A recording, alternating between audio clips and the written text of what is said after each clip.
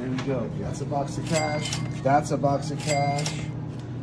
Now this is filler money. So if you guys are gonna put like a bunch of money in a briefcase and, and it just needs to look good from the side, we do this for you. If you're going to a strip club and you want to cheat the strippers, then you do this stuff.